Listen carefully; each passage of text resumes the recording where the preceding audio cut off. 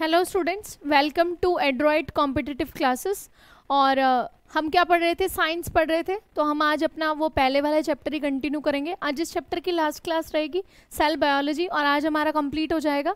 और जो बच्चे नए जुड़े हैं, भाई वो पीछे की सारी क्लासेस को देख लें। अपना पीछे का सारा सिलेबस अपना एक बार कंप्लीट कर लेना। जब तक आप लास्ट क्लासेस नहीं देखोगे, आपको ये चीज़ें कम समझ में आएँगी, ठीक है? और हमारा क्या रहेगा? हमारा 60 डेज़ का एक मिशन चल रहा है जीडी मिशन सफलता बैच ठीक है? 60 डेज़ का ये मिशन है तो 60 डेज़ में हम लोग क्या करेंगे, आपको जीडी के लिए प्रिपेयर करेंगे। हमारा ये बैच रहेगा मिशन सफलता बैच, आप लोगों के लिए। तो भाई, आप लोगों के लिए मेहनत कर रहे हैं तो आपको भी मेहनत करनी पड़ेगी, ठीक है? ये देखो, मिशन सफलता बैच, और आज हमारी पाँचवीं क्लास है, और ये बिल्कुल फ्री फ्री फ्री है, एकदम से फ्री है। और हमारा पढ़ने का कैसा तरीका है? एक बार जो नए बच्चे हैं, उनको मैं बता देती हूँ। हम क्या करेंगे? हम 60 डेज़ तक साइंस की क्लासेस करेंगे। इन 60 डेज़ में मैं आप लोगों को क्या कराऊँगी? मैं आप लोगों को पी वाई की क्यूज पी वाई क्यूज कराऊँगी। पी वाई क्यूज के साथ साथ हम क्या करेंगे? हम जिस चीज़ के बारे में वो क्वेश्चन होगा, उसके बारे में हम पढ़ेंगे डिटेल में। यानी कि आपको सारी चीज़ें वहीं डिटेल में पता चल जाएँगी। जितनी भी उस चीज़ के बारे में एक्स्ट्रा चीज़ें होंगी। ठीक है? तो आपको एक्स्ट्रा या अलग से पढ़ने की ज़रूरत नहीं है। और आप लोगों को पता होगा कि भाई नोटिफिकेशन हमारा आ गया है एसएससी जीडी का और 26,000 आपकी प्लस वैकेंसीज़ हैं। कल मैंने आपको नोटिफिकेशन दिखा दिया था और और जिन बच्चों को अपना फॉर्म अप्लाई करना है वो डिस्क्रिप्शन बॉक्स में आपको लिंक मिल जाएगा। तो आप लोग अपना अप्लाई कर लेना उसको। ठीक है भाई? अब आगे बढ़ते हैं। बच्चों नोटिफिकेशन आ गया है। प्लीज़ करके आप सीरियस होके पढ़े आप। सीरियस होके जुड़ना है डेली क्लासेस लेनी है और रेगुलर क्लासेस रखनी है। जो मैं क्लास में पढ़ा रही हूँ उसको फिर जो भी आप बुक फॉलो करते हो इट डजेंट मैटर कि आप कौन सी बुक फॉलो कर रहे हो या कहाँ से पढ़ रहे हो।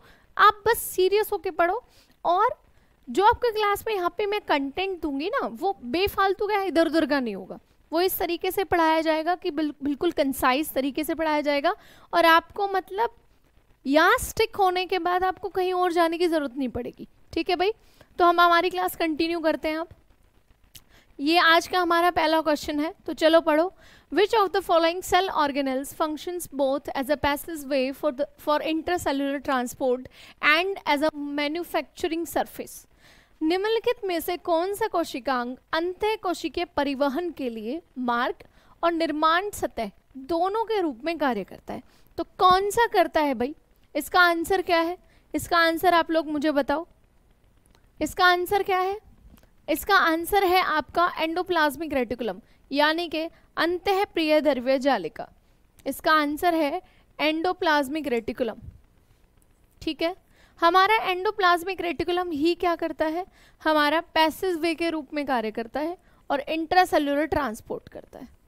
इंट्रासेलुलर ट्रांसपोर्ट करता है। ये हम लोग पढ़ चुके हैं। ये देखो। ये क्या है? ये इसका डायग्राम है। The endoplasmic reticulum is the largest organelle in the cell and is a major site of protein synthesis ये आपको पता ही है कि जो एंडोप्लाज्मिक रेटिकुलम होता है, देखो, ये दिख रहा है? ये सब क्या है? एंडोप्लाज्मिक रेटिकुलम है। फिर ये आपको पाइप्स दिख रही होंगी। ये देखो पाइप पाइप्स ये देखो ऐसे। ये ऐसी पाइप्स आपको दिख रही होंगी। ये एंडोप्लाज्मिक रेटिकुलम क्या करता है?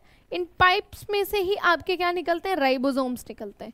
इन पाइप में से ही क्या निकलेंगे? राइबोसोम निकलेंगे। पाइप से क्या निकलेंगे? राइबोसोम्स। ये राइबोसोम्स। और जिस एंडोप्लाज्मिक रेटिकुलम से ये ऐसे करके, ये देखो, ये आपकी एंडोप्लाज्मिक रेटिकुलम है।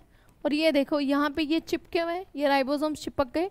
तो ये जो चिपके हुए हैं, इसको कहेंगे एस, इसको कहेंगे आर ई आर, यानी कि रफ एंडोप्लाज्मिक रेटिकुलम। और जिससे नहीं चिपके हुए, जिस, जहाँ प्लेन सरफेस है, जहाँ पे प्लेन है, जैसे देखो, ये यहाँ चिपके नहीं हुए, यहाँ देखो, ये चिपके नहीं हुए।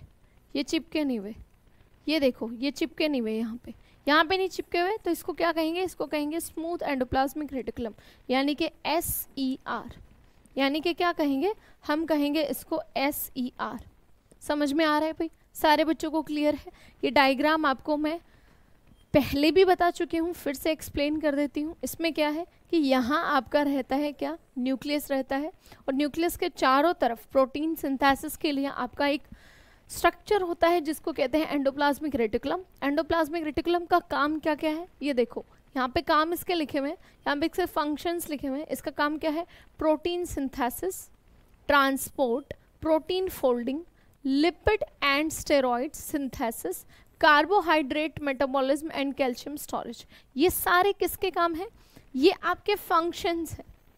ये किसके हैं? ये आपके फ़ंक्शंस है. फ़ंक्शंस ऑफ़ एंडोप्लाज्मिक रेटिकुलम यानी कि ई e आर तो ई e आर के क्या हैं? ई e आर के ये कार्य हैं। तो आप लोग याद रखें क्या क्या काम है? प्रोटीन संश्लेषण करना, परिवहन करना, प्रोटीन तय, लिपिड और स्टेरॉयड का संश्लेषण करना, और कार्बोहाइड्रेट का उपाचय करना, और कैल्शियम का भंडारण करना। ये सारे काम किसके हैं आपके? एंडोप्लाज्मिक रेटिकुलम के नेक्स्ट क्वेश्चन पे चलते हैं। Which organelle is found both in eukaryotic and prokaryotic तो ऐसा कौन सा इनमें से ऑर्गन है जो आपका प्रोकैरियोटिक में भी मिलता है और यूकैरियोटिक में भी मिलता है? अब मैंने आपको समझाया हुआ है कि प्रोकैरियोटिक और यूकैरियोटिक में क्या फ़र्क है, क्या डिफरेंस है। ये आपकी दो सेल्स हैं। ये आपकी सेल है आपकी प्रोकैरियोटिक प्रो प्रो मतलब पहले प्रो मतलब पहले। और ये है आपकी यू कैरियोटिक यू का मतलब है यहाँ पे बाद में। यू का मतलब क्या है? बाद में। यानी कि ये वो सेल है जो धरती पे पहले आई। ये वो सेल है जो धरती पे पहले आई तो इस सेल में न्यूक्लियस, इस वाली सेल में जो है, वो न्यूक्लियस नहीं है। लेकिन ये सेल आपकी धरती में बाद में आई। मतलब जब सेल का विकास होता गया होता गया होता गया तो हमारे पास एक ऐसी सेल बन गई, जिसके पास अपना खुद का न्यूक्लियस था। इसके पास क्या है? इसके पास अपना खुद का न्यूक्लियस है। खुद का अपना न्यूक्लियस है और इसीलिए इसको क्या कहेंगे? इसको कहेंगे यू कैरियोटिक सेल समझ में आ गया? ये एक बेसिक सा डिफरेंस है। अब हम आगे देखते हैं। ऑप्शंस हम बाद में लगाएँगे। पहले हम इसको समझते हैं। देखो, ये मैंने दो सेल के डायग्राम डाले हैं।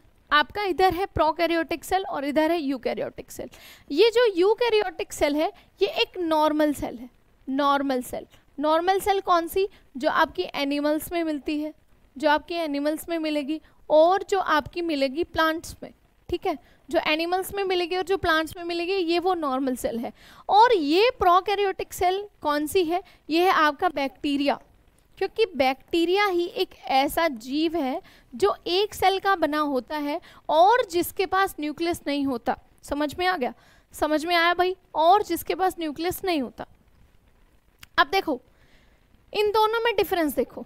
इसमें न्यूक्लियस है, इसमें न्यूक्लियस है और न्यूक्लियस के अंदर आपके क्रोमेटिन्स और क्रोमोजोम्स भरे होते हैं। इसमें न्यूक्लियस है और न्यूक्लियस के अंदर आपके क्रोमेटिन और क्रोमोसोम्स भरे होते हैं, लेकिन इसके पास न्यूक्लियस नहीं है। इसके पास न्यूक्लियस नहीं है तो इसमें क्या होता है? इसमें ऐसे फ्री फॉर्म में आपके ये क्रोमेटिन या क्रोमोसोम्स ऐसे पड़े, ये देखो। क्रोमोसोम्स इसमें फ्री फॉर्म में घूमते रहते हैं, ऐसे। फ्री फॉर्म में सेल में घूमते रहते हैं। लेकिन इसमें इनका एक प्रॉपर ऑर्गन है, जिसमें आपका क्रोमैटिन और क्रोमोजोम्स रहते हैं। समझ में आ रहा है भाई? और देखते हैं डिफरेंस क्या है। और देखो डिफरेंस क्या है। इसके पास फ्लैजीला है। क्योंकि ये एक बैक्टीरिया है और बैक्टीरिया को मूव करने के लिए क्या चाहिए? बैक्टीरिया को मूव करने के लिए फ्लैजिला चाहिए। तो ये फ्लैजिला है। ये क्या है? ये साइटोप्लाज्मा है। साइटोप्लाज्मा क्या होता है? जो कोशिका के अंदर, कोशिका द्रव्य भरा होता है। जो कोशिका के अंदर क्या भरा होता है? कोशिका द्रव्य। कोशिका के अंदर जो कोशिका द्रव्य भरा होता है, उसको कहते हैं साइटोप्लाज्मा। ठीक है भाई? ये है साइटोप्लाज्मिक मेम्ब्रेन। या फिर इसी को कहते हैं आपका प्लाज्मा मेम्ब्रेन, यानी कि जिसमें साइटोप्लाज्मा भरा हुआ है। तो इसका दूसरा नाम क्या है? इसका दूसरा नाम है प्लाज्मा मेम्ब्रेन और इसी को कहते हैं सेल मेम्ब्रेन। इसी को क्या कहते हैं? Cell membrane. तो इसके आपके तीन नाम हैं। अब इसमें और क्या डिफरेंस है? जो नॉर्मल सेल होती है उसमें क्या है? सेल वॉल नहीं है, लेकिन जो बैक्टीरिया है हमारा, हमारे बैक्टीरिया के पास एक बाहर की लेयर है, जिसको क्या कहेंगे? जिसको सेल वॉल कहेंगे, जिसको सेल वॉल कहेंगे। ये इसके बेसिक आपके हो गए। और देखो डीएनए है। अब जब डीएनए है तो क्रोमोजोम क्रोमेटन भी है। अब जब डीएनए है क्रोमोजोम है क्रोमेटिन है तो फिर आपका क्या रहेगा? तो फिर आपका वेस्ट मटेरियल भी बनेगा। जब क्रोमेटिन क्रोमोजोम में चेंज होगा या क्रोमोजोम क्रोमेटिन में चेंज होगा मतलब डीएनए बनेगा या जीन्स बनेंगे आपके सेल डिवीज़न के टाइम पे तो फिर वेस्ट मटेरियल भी बनेगा। और जब वेस्ट मटेरियल और एक्स्ट्रा मटेरियल आपका बचेगा तो राइबोसोम्स भी बनेंगे। आपको पता है ना कि राइबोसोम्स क्या होते हैं? जब आपके सेल जो सेल है वो जब डिवाइड होता है तो एक्स्ट्रा जो प्रोटीन्स बचते हैं एक्स्ट्रा प्रोटीन्स हैं या लिपिड्स हैं, जो भी एक्स्ट्रा चीज़ें बचती हैं, कुछ वेस्ट चीज़ें बचती हैं, कुछ सेल में इधर उधर इधर उधर ट्रांसपोर्ट करनी होती है घूम घूम के अलग अलग सेल के अंदर इंट्रासेलुलर ट्रांसपोर्ट होता है मतलब सेल के अंदर ही अंदर एक जो चीज़ें हैं, वो एक जगह से दूसरी जगह भेजी जाती हैं तो उसको क्या कहेंगे? तो फिर ये थैलियो में से पैक हो जाते हैं। तो जब थैलियो में से पैक हो जाते हैं तो फिर राइबोसोम्स भी होंगे। तो राइबोसोम्स मतलब प्रोकैरियोटिक सेल में है। अब हम यूकैरियोटिक सेल में देखते हैं। देखो, यूकैरियोटिक सेल में न्यूक्लियस होता है, जो कि प्रोकैरियोटिक सेल में नहीं है। तो इसके अंदर डिफरेंस क्या आया? एक तो न्यूक्लियस। अब न्यूक्लियस है तो न्यूक्लियस मेम्ब्रेन भी, ठीक है? न्यूक्लियस है तो न्यूक्लियस मेम्ब्रेन भी। नेक्स्ट है आपका राइबोसोम। राइबोसोम तो मैंने आपको बताया, इसमें भी होता है और इसमें भी होता है।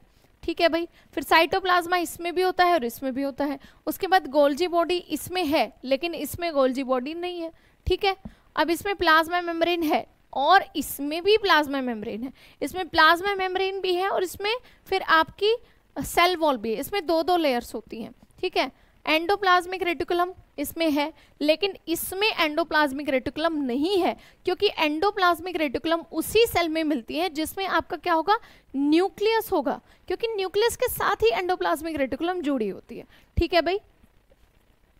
अब माइटोकॉन्ड्रिया देखो माइटोकॉन्ड्रिया इसमें तो है, लेकिन माइटोकॉन्ड्रिया इसमें इसमें माइटोकॉन्ड्रिया नहीं है। अब हम हमारे एक बार ऑप्शंस देख लेते हैं। अब हमारे ऑप्शंस देखते हैं, ये देखो।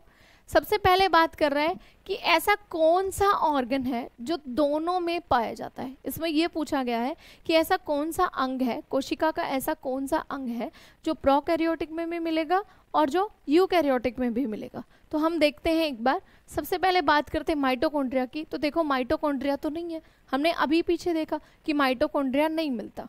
माइटोकॉन्ड्रिया आंसर इसका नहीं हो सकता, क्योंकि माइटोकॉन्ड्रिया सिर्फ़ और सिर्फ़ प्रोकैरियोटिक में यू यूकैरियोटिक में मिलता है, प्रोकैरियोटिक में माइटोकॉन्ड्रिया नहीं होता। लाइसोसोम भी नहीं मिलता, हमने पीछे देखा। गोल्जी बॉडी भी नहीं मिलता, हमने पीछे देखा। लेकिन ये देखो, हमारा फ़र्स्ट ऑप्शन क्या है? राइबोसोम। हमारा एक ऑप्शन बच गया, राइबोसोम। राइबोसोम देखो, राइबोसोम जो है, वो आपका इसमें भी राइबोसोम है और इसमें भी राइबोसोम है। तो answer is answer is A. मतलब हमारा ऑप्शन नंबर ए इसका बिल्कुल सही आंसर हो गया। ठीक है भाई? नेक्स्ट क्वेश्चन पे चलते हैं।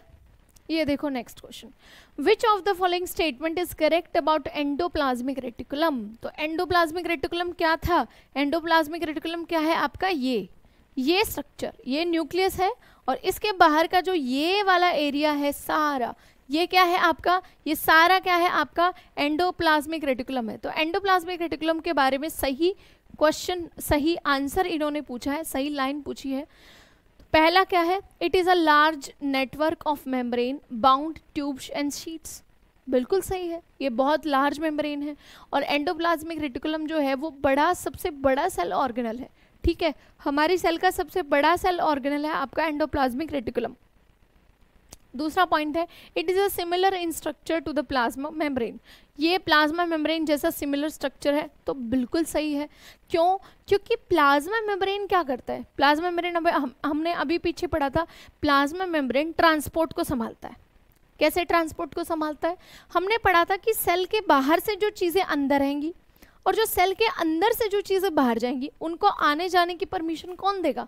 उनको आने जाने की परमिशन देंगे प्रोटीन्स कौन से प्रोटीन्स जो सेल वॉल के सॉरी जो सेल मेम्ब्रेन के बीच में लगे हैं, जो आपका फ्लूइड मॉजिक मॉडल है, जो बाई लेयर मॉडल है, कि एक लेयर आपकी ऊपर बनी हुई है, ऐसे करके, एक लेयर आपकी बनी हुई है, ऐसे करके ऊपर। ये इनकी पूछ बनी हुई है। एक लेयर ऐसे करके आपकी बनी हुई है, नीचे, जिसमें ये सारे चिपके होते हैं, उल्टे पैर करके मतलब ऊपर की तरफ़ पैर करके। और यहाँ बीच बीच में आपके लगे होते हैं प्रोटीन्स और इन्हीं प्रोटीन से क्या होता है? इन्हीं प्रोटीन से आपका होता है ट्रांसपोर्ट सेल के बाहर का ट्रांसपोर्ट और सेल के अंदर का ट्रांसपोर्ट कौन संभालता है? आपका सेल मेम्ब्रेन संभालता है। उसी तरीके से आपका जो सेल के अंदर ट्रांसपोर्ट करने का काम होता है, कौन करते हैं? राइबोसोम और राइबोसोम कौन बनाता है? Endoplasmic reticulum. इसीलिए ये ऑप्शन भी बिल्कुल सही है। तो ऑप्शन नंबर हमारा आंसर क्या हो गया? आंसर हो गया D. Both one and two. मतलब हमारे दोनों ऑप्शन सही हैं। ठीक है भाई?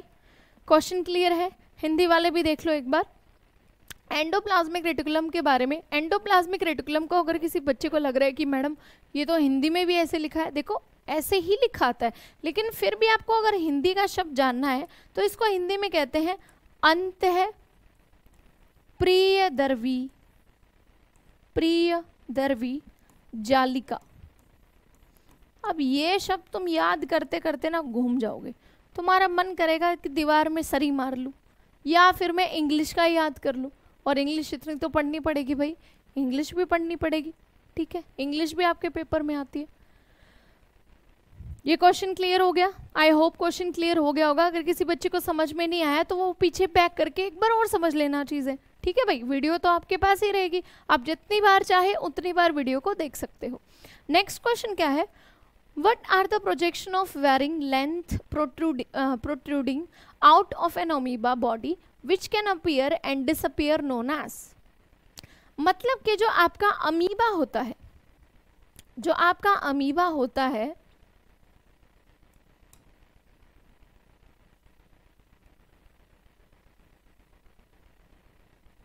मतलब कि जो आपका अमीबा होता है, अमीबा के शरीर में एक ऐसा अंग बताना है, जो कभी कभी दिखता है और कभी कभी बिल्कुल भी नहीं दिखता है। कभी कभी वो दिखेगा, लेकिन कभी कभी वो बिल्कुल भी नहीं दिखेगा। ठीक है? तो ये देखो। और उसकी लेंथ के उभार को क्या कहते हैं? मतलब उसके शरीर से एक ऐसी लंबाई निकलती है एक ऐसी लेंथ निकलती है जो कभी कभी दिखेगा और कभी कभी नहीं दिखेगा। तो ऐसे करके क्या हो सकता है? खुद सोचो। ऐसे करके क्या हो सकता है? खुद सोचो। Contractile vacuole. कॉन्ट्रेक्टाइल वैक्यूल क्या होता है? हम इसको डायग्राम से समझते हैं। हम इसको डायग्राम से समझते हैं। ये देखो। ये है आपका ओमीबा ये है आपका ओमीबा ओमीबा में ये है आपकी कॉन्ट्रेक्टाइल वैक्यूल। ओमीबा में ये है आपकी कॉन्ट्रेक्टाइल वैक्यूल। कॉन्ट्रेक्टाइल वैक्यूल का मतलब ये होता है, एक ऐसा स्थान जो सिकुड़ता रहता है, बढ़ता रहता है, कम होता रहता है। बढ़ गया, कम हो गया, बढ़ गया, कम हो गया। मतलब कि हमने अभी तक आपको वैक्यूल पढ़ाया है मैंने। मैंने आपको, सॉरी भाई, मैंने आपको दो तरीके का वैक्यूल पढ़ाया मैंने आपको ये कहा है कि जो एनिमल होते हैं, उनमें जो वैक्यूल होता है, उनकी सेल में जो वैक्यूल होता है, वो छोटा होता है साइज़ का। लेकिन जो प्लांट सेल में जो वैक्यूल होता है, वो तो बहुत बड़ा होता है। मतलब वो इतना बड़ा होता है कि वो प्लांट सेल का 60 टू 80 परसेंट एरिया कवर कर लेता है। क्योंकि जो प्लांट सेल है, वो वैक्यूल को as a storage room use करते हैं। और हमारी एनिमल सेल जो है, वो वैक्यूल को एक वेस्ट जगह समझ के यूज़ करती है कि जितने भी आपकी सेल के वेस्ट प्रोडक्ट है। सॉरी भाई।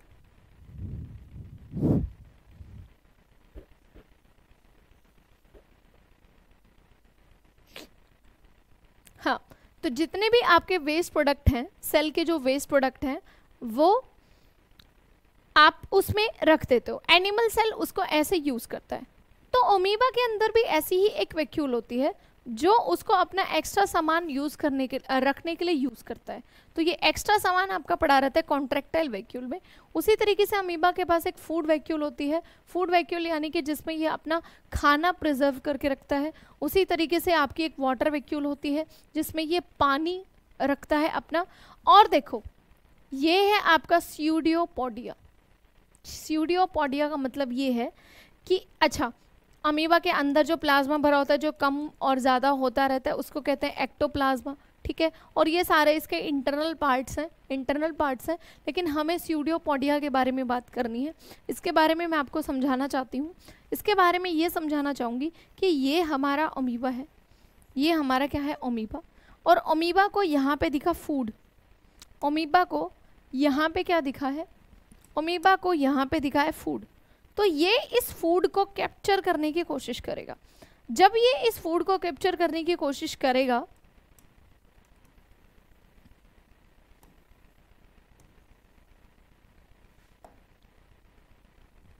जब ये इस फ़ूड को कैप्चर करने की कोशिश करेगा तो ये अपने स्ट्रक्चर में एक चेंज करेगा और ये ऐसे करके अपने स्ट्रक्चर को चेंज करेगा, आगे बढ़ेगा। इसके बाद, और इसके बाद ये फिर अपने स्ट्रक्चर को चेंज करेगा। और ये अपने स्ट्रक्चर को ऐसा बना लेगा, ऐसा करके। और ऐसे बनाते बनाते ये क्या करेगा कि ये इस खाने को अपने ले लेगा अंदर और इसको डालेगा किसमें? उसको डाल देगा फ्यूड वैक्यूल में।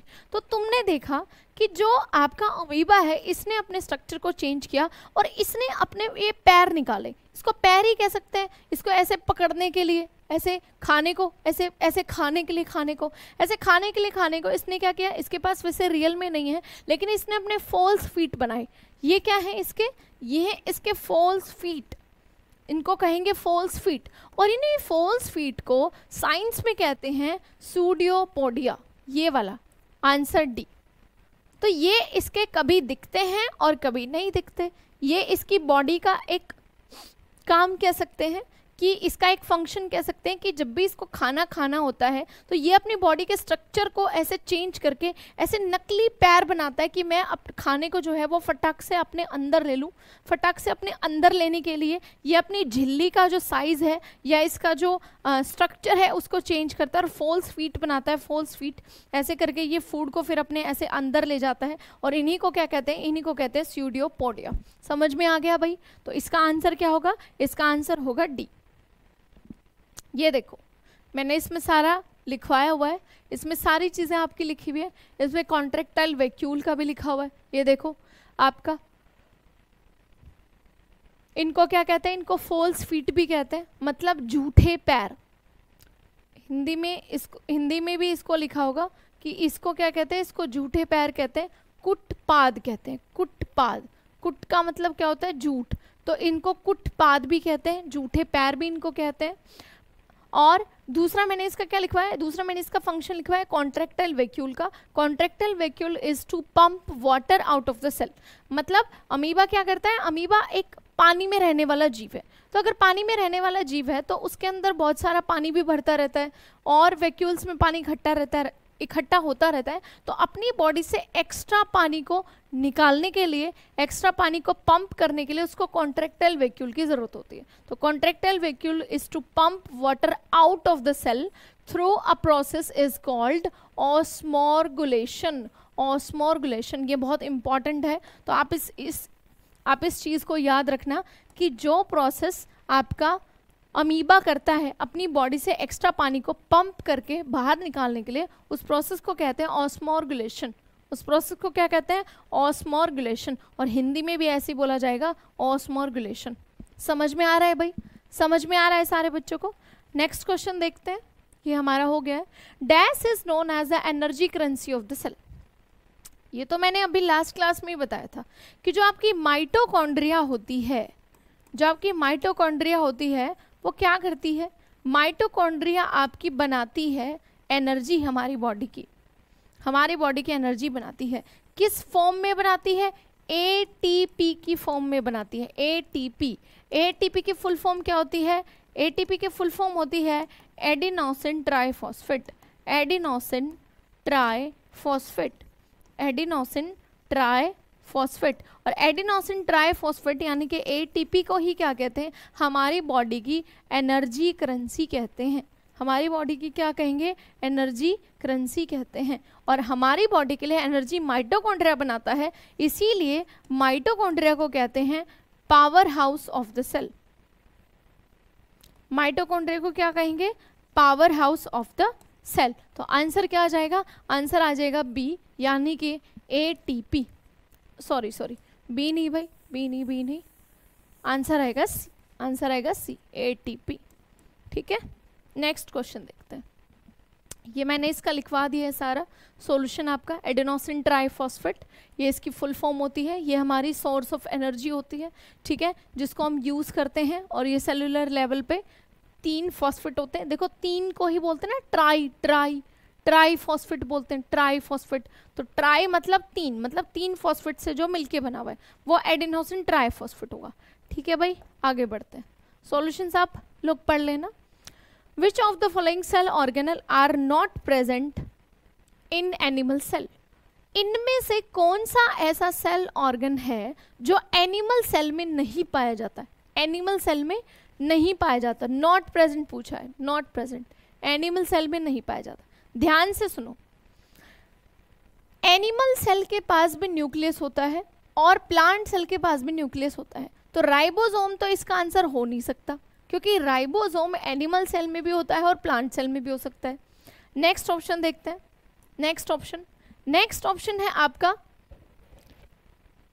लाइसोसोम लाइसोसोम क्या है? लाइसोसोम वो है जो आपका वेस्ट आपके एसिड्स को अपने अंदर कंटेन करता है वो एसिड्स जो आपके गोल्जी बॉडी उसको देती है। तो गोल्जी बॉडी जो थैलिया बनाती है गोल्जी बॉडी जो पैकिंग करती है पैकिंग वो पैकेजिंग की थैलियों को क्या कहते हैं? पैकेजिंग की थैलियों को कह, कहते हैं लाइसोसोम और लाइसोसोम में एक्स्ट्रा एसिड्स होते हैं, और जब वो एसिड्स बहुत ज़्यादा बढ़ जाते हैं तो फिर वो थैली फट जाती है, इसीलिए लाइसोसोम को कहते हैं सुसाइडल बैग्स कहते हैं। अब ये तो एनिमल सेल में भी होता है और प्लांट सेल में भी होता है तो यह ऑप्शन भी नहीं हो सकता। माइटोकॉन्ड्रिया माइटोकॉन्ड्रिया दोनों में होता है। आपकी प्लांट्स को भी एनर्जी चाहिए और आपकी एनिमल्स को भी एनर्जी चाहिए। तो एनर्जी हमारी बॉडी के लिए कौन बनाता है? माइटोकॉन्ड्रिया बनाता है। तो माइटोकॉन्ड्रिया भी इसका आंसर नहीं हो सकता। तो ऑप्शन क्या बच गया हमारा? ऑप्शन बचा हमारा प्लास्टिड्स ऑप्शन क्या बचा हमारा? ऑप्शन बचा हमारा प्लास्टिड्स प्लास्टिड्स ऐसे होते हैं जो सिर्फ़ और सिर्फ़ आपके प्लांट सेल में मिलते हैं। प्लांट्स प्लास्टिड्स आपके किसमें मिलते हैं? प्लास्टिड्स आपके प्लास्टिड्स जो हैं, वो आपके सिर्फ़ और सिर्फ़ प्लांट्स सेल में मिलते हैं। प्लास्टिड्स किसमें मिलते हैं? सिर्फ़ और सिर्फ़ प्लांट सेल में मिलते हैं। यहाँ मैं आपको कुछ समझाना चाहती हूँ। देखो प्लास्टिड्स का मतलब है प्लास्टिड्स का मतलब है प्लास्टिड्स किसमें मिलते हैं? Only in plants only in plant सिर्फ़ और सिर्फ़ पौधों में मिलते हैं। और पौधों में जनरली जो प्लास्टिड मिलता है, उसका नाम क्या है? उसका नाम है क्लोरोप्लास्ट उसका नाम क्या है? उसका नाम है क्लोरोप्लास्ट जो क्लोरोप्लास्ट होता है, इसको हिंदी में क्या कहेंगे? इसको हिंदी में कहेंगे हरित लवक इसको हिंदी में कहेंगे हरित लवक क्लोरोप्लास्ट जो है, वो हमें कौन सा कलर देता है? क्लोरोप्लास्ट हमें देता है हरा रंग, यानी कि ग्रीन कलर और ग्रीन कलर की वजह से ही हमारी जो लीव्स होती हैं, हमारी जो लीफ होती हैं, हमारे जो पत्ते होते हैं, हमारे पत्तों का रंग कैसा होता है? हमारे पत्तों का रंग होता है हरा. समझ में आ गया? समझ में आ रहा है भाई? तो हमारा आंसर क्या आ गया इसका? हमारा आंसर आएगा इसका पी यानी कि प्लास्टिड्स ये देखो, इसमें आंसर इधर लिखा हुआ है. ठीक है? नेक्स्ट क्वेश्चन पढ़ते हैं. Which of the following are are situated in the nucleus of the cell इनमें से कौन सा न्यूक्लियस सेल में पाया जाता है? आप ध्यान से सुनो। न्यूक्लियस में कौन सा पाया जाएगा? हमने, हमें न्यूक्लियस के अंदर बताना है। हमें न्यूक्लियस के अंदर बताना है। देखती हूँ मैं डायग्राम लगवाया तो मैंने। डायग्राम मैंने लगवाया है। हम हमारे एक बार डायग्राम को देखते हैं।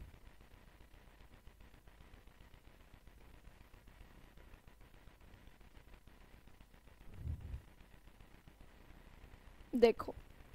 ये है हमारा न्यूक्लियस, हमारा प्यारा प्यारा न्यूक्लियस। ठीक है? ध्यान से सुनो। इस न्यूक्लियस में क्या क्या है? ये हमारा न्यूक्लियस है। ये हमारा न्यूक्लियस है और ये इसका डाइसेक्शन का डायग्राम है। ये इसका डाइसेक्शन कैसे है? जैसे ये बॉल हो मान लिया और इसको बीच में से ऐसे काटे, इसका वन फोर्थ हिस्सा हटा दे तो वो अंदर से कैसे दिखेगी? ये वो वाला स्ट्रक्चर है। जो हमारा न्यूक्लियस होता है न्यूक्लियस जो होता है, उसके अंदर एक और आपका छोटा सा वाला पार्ट होता है। तो ये देखो, ये है न्यूक्लियस। अब इस न्यूक्लियस के अंदर आपको ये थ्रेड लाइक स्ट्रक्चर्स दिख रहे होंगे। ये देखो, ये थ्रेड लाइक स्ट्रक्चर्स दिख रहे हैं। ये थ्रेड लाइक स्ट्रक्चर्स दिख रहे हैं। इन थ्रेड लाइक स्ट्रक्चर्स को क्या कहते हैं? इनको कहते हैं क्रोमैटिन इनको क्या कहते हैं? क्रोमैटिन अब ये थ्रेड लाइक स्ट्रक्चर्स जिस पानी में तैर रहे हैं यानी कि जो न्यूक्लियस के अंदर जो लिक्विड भरा हुआ है, उस लिक्विड को क्या कहते हैं? उस ये जो लिक्विड न्यूक्लियस के अंदर, ये जो लिक्विड ऐसे भरा हुआ है, इस लिक्विड को क्या कहते हैं? इस लिक्विड को कहते हैं न्यूक्लियोप्लाज्मा। यानी कि न्यूक्लियस के अंदर जो प्लाज्मा भरा हुआ है, वो क्या है? वो है आपका न्यूक्लियोप्लाज्मा। वो क्या है आपका? न्यूक्लियोप्लाज्मा। इन्हीं क्रोमैटिन से जब सेल को डिवीज़न करना होता है, जब सेल को क्या करना होता है? डिवीज़न करना होता है तो इन्हीं क्रोमैटिन से क्या बन जाते हैं? इन्हीं क्रोमैटिन से बन जाते हैं क्रोमोजोम इन्हीं क्रोमेटिन से क्या बन जाते हैं? क्रोमोजोम और क्रोमोजोम्स के ऊपर ही आपके क्या चिपके होते हैं? जीन्स चिपके होते हैं. जीन्स यानी कि आपके डीएनए चिपके होते हैं. ठीक है?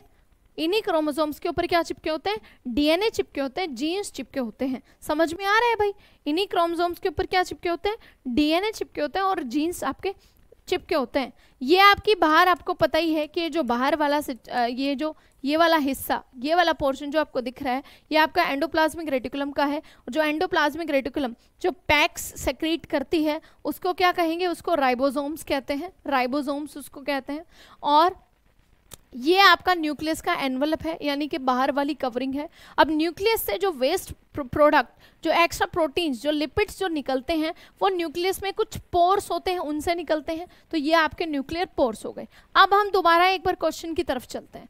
इसमें पूछा गया which of the following are situated in the nucleus of the cell मतलब हमारे जो केंद्रक होता है, उसके अंदर क्या क्या होता है? तो देखो क्रोमोजोम क्या न्यूक्लियस के अंदर होते हैं? बिल्कुल होते हैं। क्या जीन्स न्यूक्लियस के अंदर होते हैं? बिल्कुल होते हैं। ये तो दोनों ही न्यूक्लियस के अंदर होते हैं। नेक्स्ट देखो साइटोप्लाज्मा तो देखो, नहीं साइटोप्लाज्मा क्या है? साइटोप्लाज्मा उसको कहते हैं जो सेल के अंदर प्लाज्मा भरा होता है। न्यूक्लियस के अंदर तो न्यूक्लियोप्लाज्मा होता है। तो ये ऑप्शन तो हो ही नहीं सकता। ये ऑप्शन गलत हो गया। तीसरा ऑप्शन देखो। तीसरा ऑप्शन में फिर से साइटोप्लाज्मा दिया हुआ है तो ये भी गलत हो गया। ठीक है? चौथा देखो। प्रोटोप्लाज्मा। प्रोटोप्लाज्मा भी इसके अंदर नहीं होता। प्रोटोप्लाज्मा आपके बाहर होता है तो फिर ये भी ऑप्शन गलत हो गया। तो आंसर आपका क्या आ गया? आंसर आपका आ गया ए यानी कि option number one option number one, A, आपका बिल्कुल सही आंसर है। गुणसूत्र और जीन आपके न्यूक्लियस के अंदर पाए जाते हैं। ठीक है भाई? ये आपका क्या है? इसको मैं नॉर्मल कर देती हूँ। एक मिनट।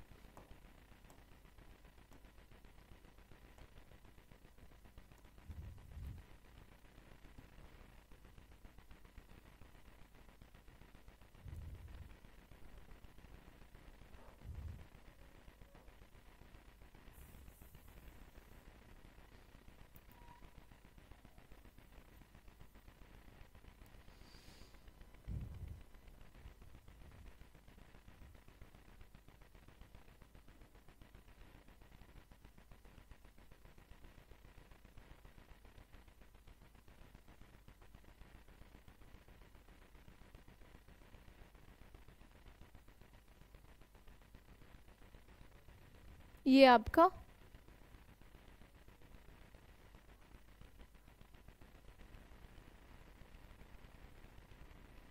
हो गया। ठीक है? तो यहाँ से आप लोग अपना आंसर देख लेना। ठीक है भाई?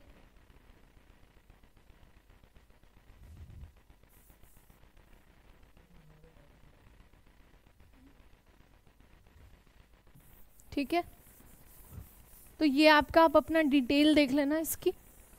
आंसर की डिटेल्स देख लेना और इसका आंसर हमारा आ जाएगा ए, ऑप्शन नंबर ए।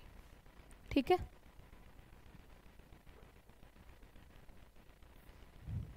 तो आज की क्लास यहीं तक रखते हैं भाई। थैंक यू सो मच आज की क्लास आप देखने के लिए और सारे बच्चे जुड़े रहें और पीछे की सारी क्लासेस को आप रिवाइज कर लेना। ठीक है भाई? Thank you so much thank you cut कर दे।